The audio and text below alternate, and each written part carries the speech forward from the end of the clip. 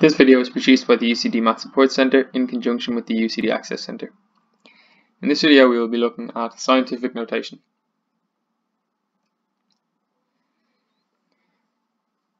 So we'll be looking at an example of how to write a number using scientific notation. In our example we will use 2,351,621. Our first step is to move the decimal point until we get a number between 0 and 10.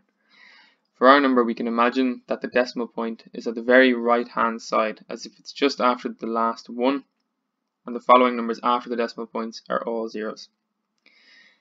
So what we do is we move our decimal point from there to the left until we get 2.351621. So this is our new number b. Now we have to count the number of decimal places that we have moved and let this number be C. So in our case, we moved from the right hand side just after the last one, six places to the left until we got 2.351621. So C for us is the number of places, which is 6.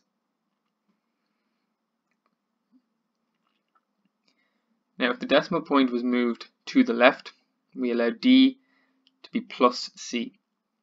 If the decimal point is moved to the right, we allow D to be minus C. So the decimal point may be moved to the right if, for instance, we have a number such as 0.0042. We would move the decimal point to the right until we got 4.2.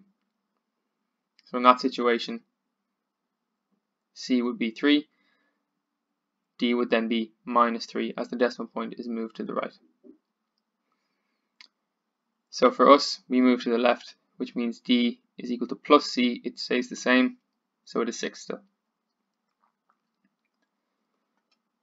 The final answer, in scientific notation, is written down as b times 10 to the power of d.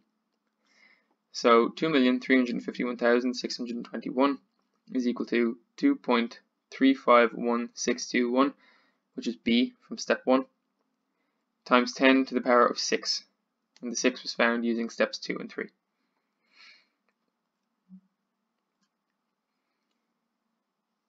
Using scientific notation makes calculations with larger numbers much easier. So we will look at addition, subtraction, multiplication, division, and how to use powers in scientific notation.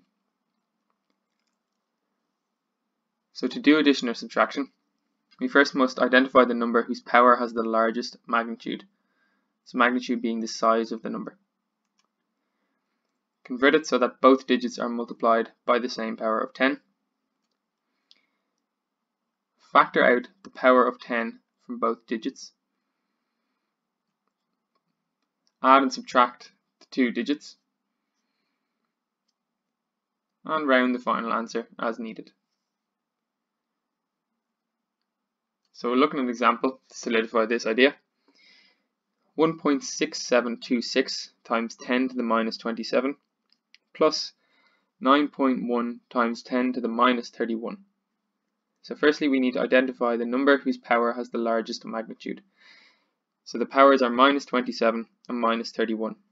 So the magnitude of minus 27 or the size is the absolute value. So it's my it's 27. The magnitude of minus 31 then is 31.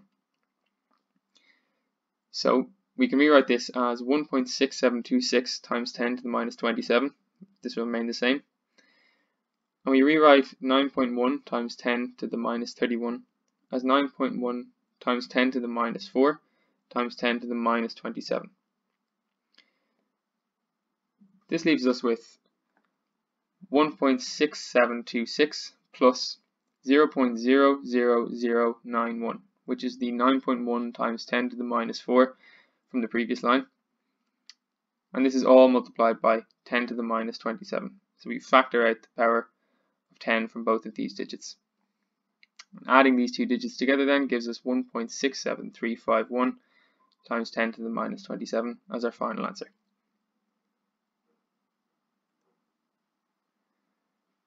So the laws of indices would be very helpful in doing multiplication and division. To multiply 2 together, we simply multiply the two digits, so 6.022 times 10 to the 23, multiplied by 1.380 times 10 to the minus 23, is equal to 6.022 times 1.38, so that is the numbers in front of the 10 of each scientific notation number, multiplied by 10 to the 23 minus 23. So 23 minus 23 coming from the laws of indices. And this leaves us with 8.31. When we look at division, we follow roughly the same idea as multiplication. So above, we multiplied the decimal parts together and we multiplied the 10 powers together. In division, we will divide the decimal parts and we will also then divide the powers of 10. So 6.674 times 10 to the minus 11 divided by 9 times 10 to the 16. We will write one number on top of the other so 6.674 times 10 to the minus 11 on top of 9 times 10 to the 16 as a fraction. What we do next is split this fraction.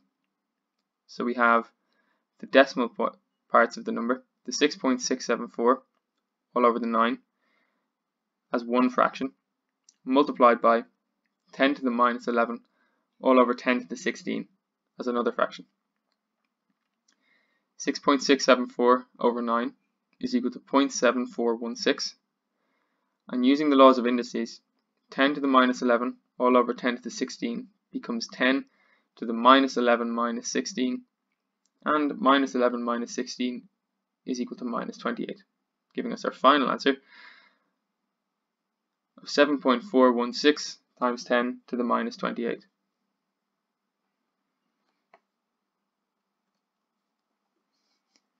So the laws of indices also help when we have numbers raised to a power. So if we take 3 times 10 to the 8 all squared, all we do is distribute the power of 2 into the number. So we take 3 squared times 10 to the 8 all squared, leaves us with 9 times 10 to the power of 8 times 2 using laws of indices, which is equal to 9 times 10 to the 16.